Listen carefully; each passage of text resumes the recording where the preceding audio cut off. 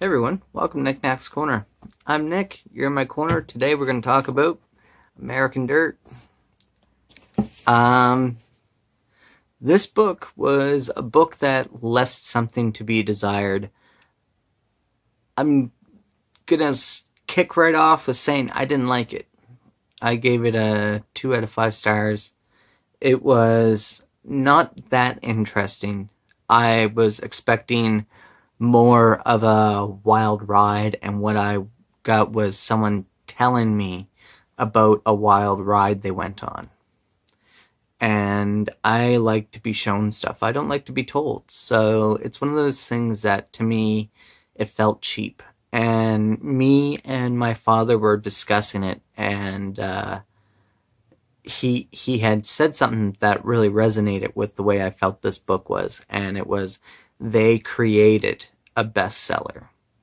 Not that it is a bestseller or that it is an amazing book, but they created one by saying it's worth this much. The person who wrote this got seven figure income and it it's a ridiculously told book there is a lot of things in here that is just not believable.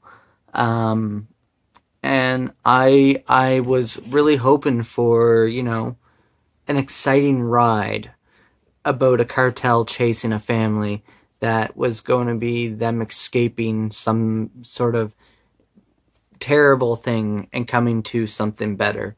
And it was that, but it was them telling me about it as opposed to them showing me.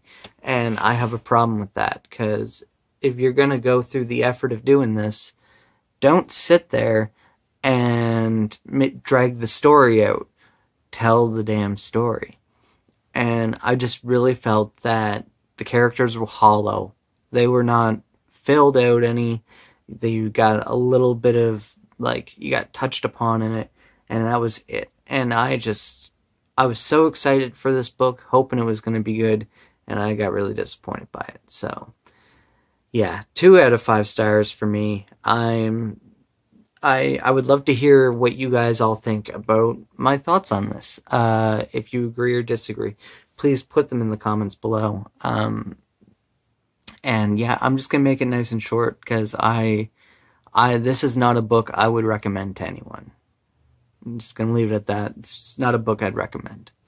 So uh, I hope you're all having a wonderful day, and we'll see you next time on the corner.